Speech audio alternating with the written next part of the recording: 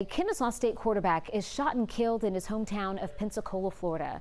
The Escambia County Sheriff's Office says the car that 18-year-old Ladarius Clardy was driving was hit by more than 50 gunshots before it crashed. A passenger in the car was also hit and taken to the hospital. This is not just a statistic. This is a this is a son. This is a friend. This is a teammate. And enough is enough. Clardy had just finished his first season with the Owls.